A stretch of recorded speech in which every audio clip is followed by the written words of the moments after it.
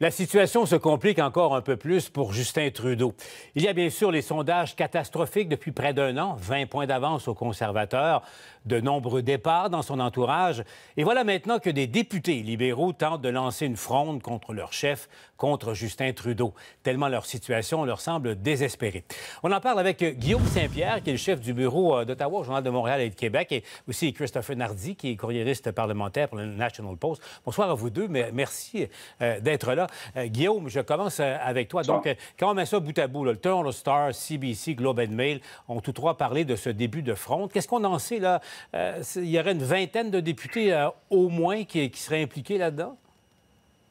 Ce serait une quinzaine, vingtaine de députés. On me dit qu'il n'y aurait pas de ministre. Par contre, ça, c'est une grande crainte du bureau du premier ministre. On me dit qu'il n'y a pas de ministre. Il y a des. Euh, c'est surtout, je pense que j'en comprends, des députés euh, de l'Atlantique. Euh, vous vous souvenez que quand il y a eu le, débat autour de la taxe carbone, c'était venu de l'Atlantique, cette espèce de la taxe carbone qui, a été abolie sur le mazout, c'était quelque chose qui était très impopulaire. Mm-hmm. Alors, euh, il y a, on me dit aussi qu'il y a des députés possiblement du, euh, ben, en fait, du Québec qui seraient, euh, qui feraient partie aussi de la fronde. Alors, il va falloir voir si ça fait boule de neige. Là, on a vu que il y a Sean Casey, un, député de du Prince-Édouard qui vient de sortir publiquement sur CBC il y a quelques heures. Uh-huh. Alors euh, là, c'est une toute petite boule de neige. On va voir à quel point ça, grossit. Et Christopher, bon, effectivement, il y a 100 quelques députés libéraux, mais c'est quand même, euh, si mon compte est bon, à peu près 17% du caucus, ce qui n'est pas rien. Euh, Christopher, quelle, quelle évaluation vous faites de, de, ce début ou de cette fronde là, en ce moment? Ben, elle est un peu plus réussie, on pourrait dire, que celle qui avait été euh, lancée par un autre député de l'Atlantique, Wayne Long, en juin, qui avait appelé pour la démission du premier ministre et ça l'a fait l'effet de, rien, de poète, poète, poète. Alors, cette fois-ci, on voit qu'il y a une organisation. Mais Paul, je dois dire, c'est assez particulier, hein, ce qui se passe. En fond, euh, les députés qui organisent cette fronde-là, on ne sait pas exactement ils sont qui. Il n'y a pas vraiment de traces écrites. On m'a raconté aujourd'hui que c'est essentiellement un député qui en appelle un autre, qui lit, lui, qui lit, désolé, trois lignes de cette lettre qui existe peut-être ou peut-être pas, et ensuite leur demande de s'engager sans rien signer ou peut-être de signer un papier vierge. Mais cette lettre, ce, fameux papier, on ne sait pas, ne quitte jamais le bureau où il est. On ne sait pas trop qui, qui est derrière. Alors, c'est quelque chose qui, se, se, prépare, mais qui est vraiment particulier. Et on voit bien que les gens qui l'organisent ne veulent pas sortir avant qu'ils soient prêts à livrer ce message-là, autant publiquement qu'au premier ministre Justin Trudeau, ce qu'ils n'ont évidemment toujours pas fait. C'est assez particulier. Donc, euh, mais euh, d'après vous, Christopher, on, assiste à quoi? Quelqu'un qui tente de créer un mouvement ou euh, c'est comme un sous-marin qui va sortir de l'eau, puis à ce moment-là, on verra à quel point il, est imposant? Je pense que c'est les deux en même temps, en fait. C'est beaucoup des députés de l'Atlantique. Aussi, je, je, crois en comprendre, plusieurs députés qui ont décidé de ne pas se relancer. Donc, effectivement, Paul, ils n'ont pas une tonne à perdre dans ce débat-là ah et essaient d'en recruter. Mais on m'a clairement dit, on n'a pas tenté de rejoindre des membres du ministre, euh, du cabinet de M. Trudeau. Donc, déjà là, on perd des appuis importants. Et je pense qu'on n'a même pas appelé tous les députés, en fait, à l'extérieur du cabinet parce qu'on hmm. sait qu'il y en a qui vont toujours être favorables au premier ministre. Donc, c'est une fronde qui s'organise on dirait, parmi ceux qui sont déjà frustrés ou qui ne se représentent pas. On verra si donc ça peut s'étendre au-delà de ceux qu'on reconnaît au sein du parti déjà comme des quote-unquote frustrés. Guillaume? Ben, on va voir si le sous-marin sort de l'eau la semaine prochaine au, caucus parce que ça va être là vraiment le, vrai test. Euh, cette semaine, la Chambre ne siège pas. Euh, donc, la semaine prochaine, il va y avoir une rencontre à Ottawa. Tous les députés euh, vont converger à Ottawa, les ministres aussi. Alors, ça, c'est le mercredi matin. Alors, on sera là mercredi matin pour récolter les commentaires. Et lundi aussi, au Parlement, on va faire beaucoup de corridors pour essayer de comprendre un peu l'importance de ce frais de fraude et, et, ce qui risque d'en retourner. Dites-moi, j'ai une question pour vous deux. Là. Euh, Christopher, je commence avec vous. On entendait hier, monsieur, et son entourage le dit, M. Trudeau est déterminé, il veut rester là, il veut être là aux prochaines élections. Mais est-ce que la vraie question, est-ce qu'il pourra être là? D'après vous, quelle évaluation vous faites? Christopher, d'abord.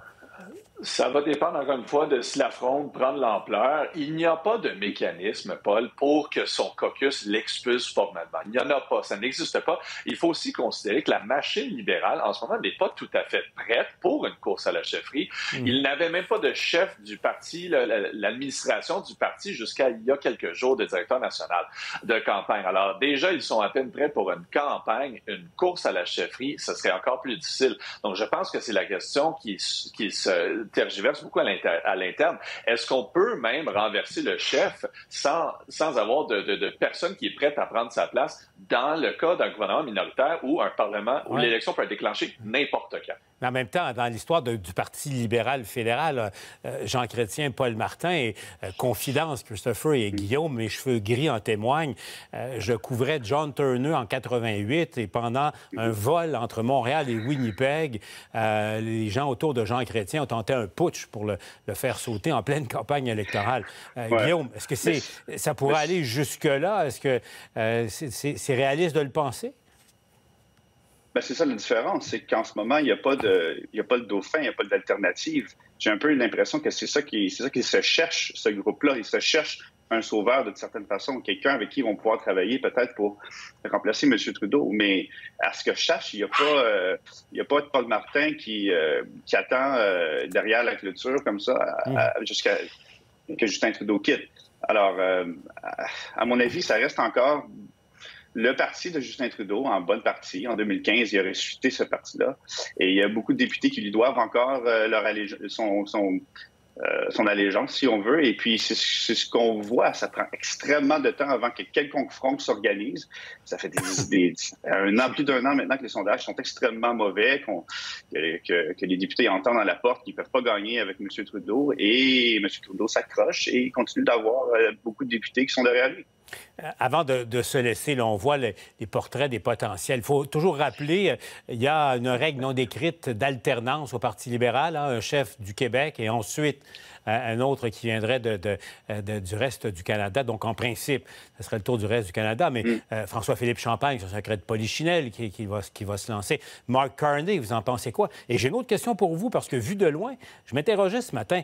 Euh, il y a un an, un an et demi, on se disait, bon, c'est Mme Freeland qui va remplacer Justin Trudeau.